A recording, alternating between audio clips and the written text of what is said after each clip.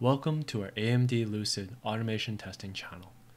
We will have a series of talk about Selenium automation testing, which will help you understand the basics of Selenium and also guide you to build your own Selenium automation project.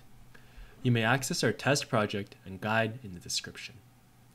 Feel free to subscribe to our channel for any new videos and updates. Today, we will talk about Selenium commands part 2.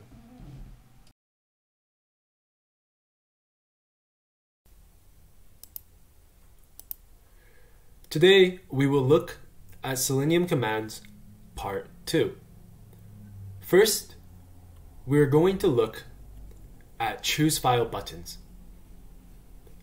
Now, what do I mean by choose file buttons? Well, I mean these buttons here that allow you to choose a file.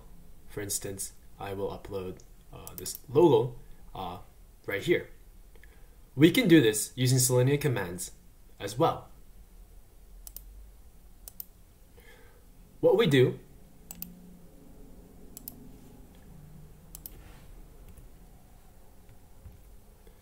is we can use send keys and send the image files that we want to upload.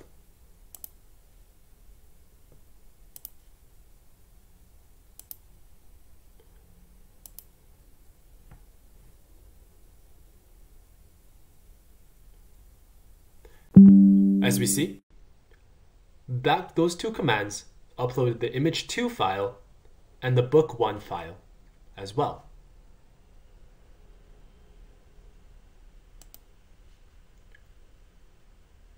Moving on, we can also use Selenium commands on drop-down list. For instance, on this website here, for the drop-down list age, we can select the age we want to select. Let's say we want to select age 12. We can do this with Selenium commands by using the following commands.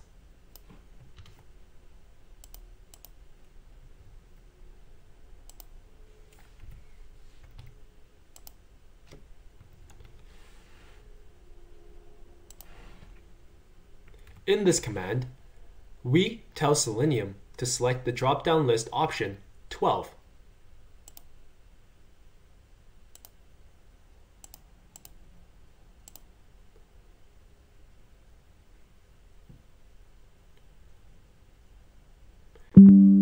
The Selenium command goes to the drop-down list and selects age 12.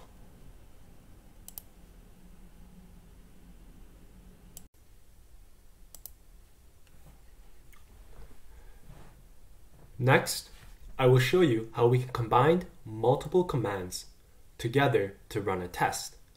For example, to fill out a form and send it on a web page. First, sometimes we need to notice that when we first open a website, not all of the elements are shown. Sometimes you must tell Selenium to scroll down to find the elements on the web page.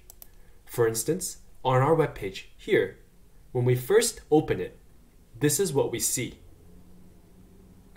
Sometimes what we need to do is we need to tell Selenium to scroll down so that it can see all of the web page and in our case, the form. So how do we do this using Selenium? Well, here is some code that we do.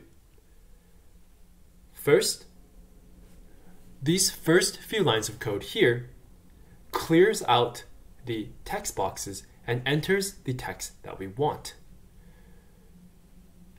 The Java execute script here scrolls the window down so that we can see what is going on.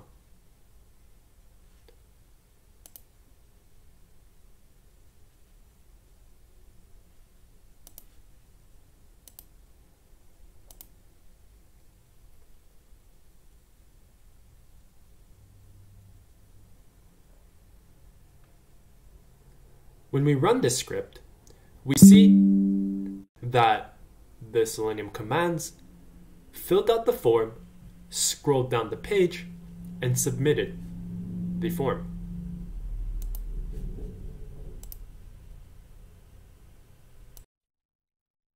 Next, I want to show that Selenium automation tests do tests sequentially.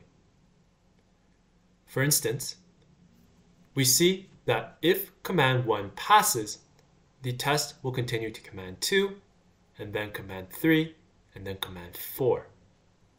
However, if somewhere along the line, for instance command 3, fails, the Selenium automation test will not execute any commands afterwards.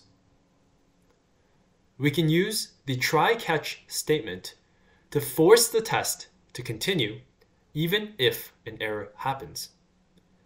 However, IntelliJ will show you that the test passed. Later, we will introduce how to use reporting tools to record each step so you know if it passed or fails.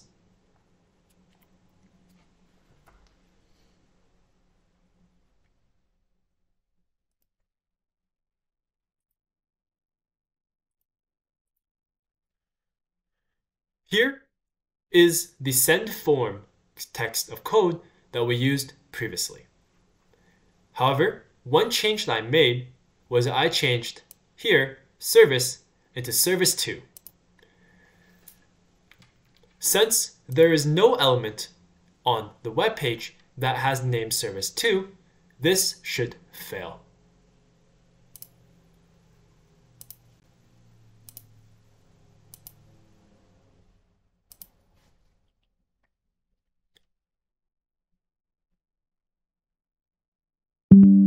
And as we see, this step fails.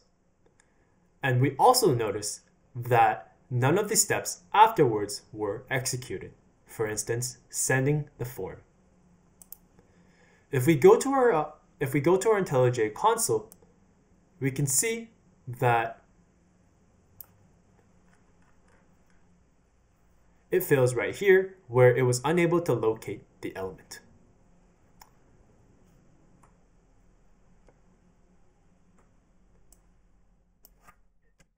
As we mentioned earlier, we can use a try-catch statement to overcome this issue. If instead we use a try-catch statement uh, to try to find this service to uh, drop down, this is what we will see.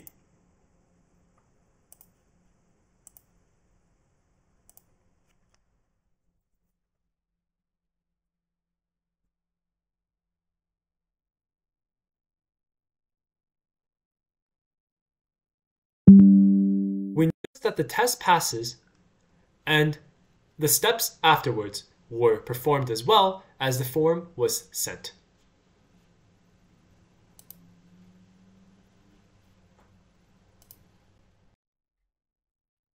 Next, we will talk about Selenium waits.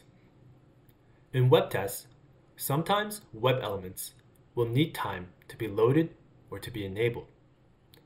We should let Selenium commands wait for a period of time and then continue to do operations.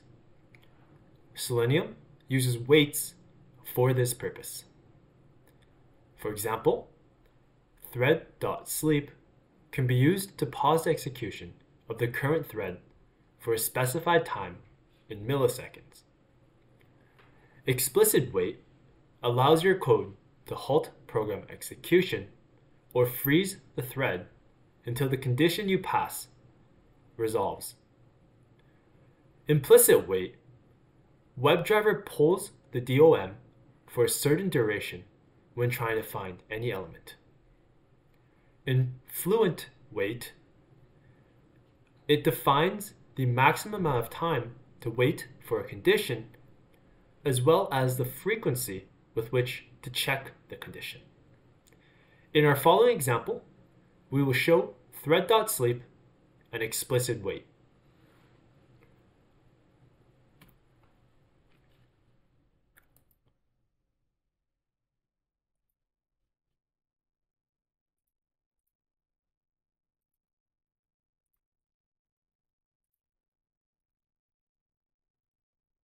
In this example here,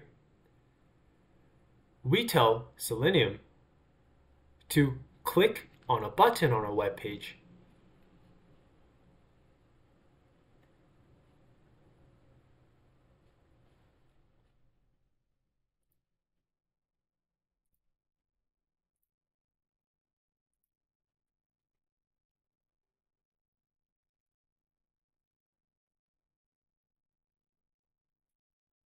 After clicking the button, our website disables the button for 15 seconds.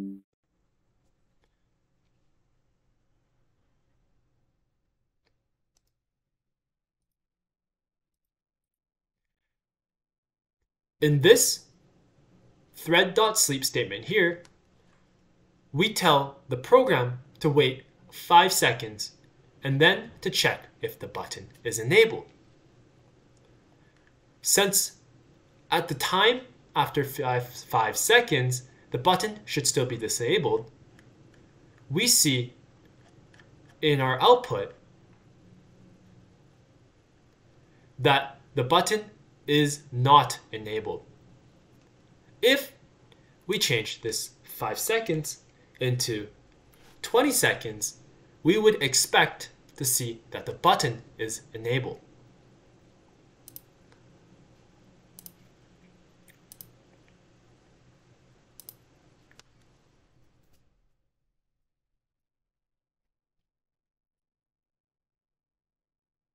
First, after clicking the button, it is disabled for 15 seconds. We tell the program to wait for 20 seconds.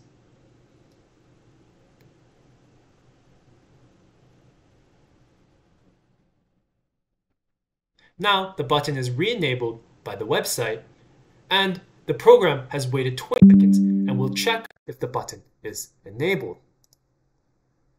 As a result, we see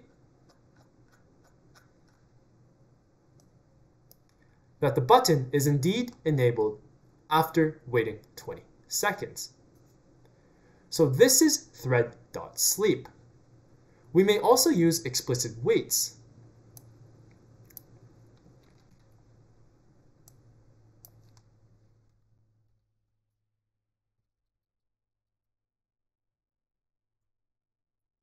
In explicit waits, we tell the program to check when the button is re-enabled.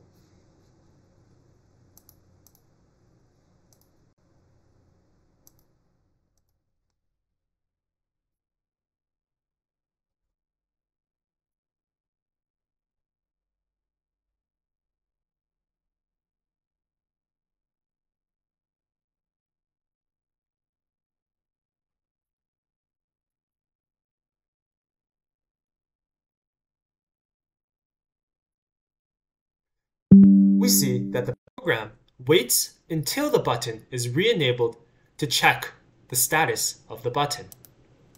And because of that, we see that the status of the button is enabled.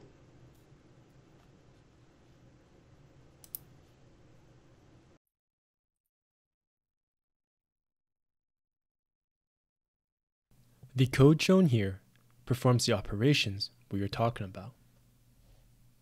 In the first line of code, we click the link albertafirebans.ca.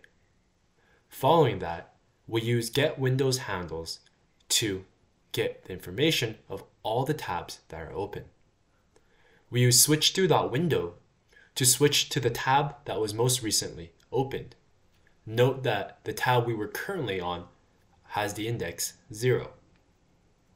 Following that, on the new tab, we scroll down and we click staff directory. Let's see how this code runs.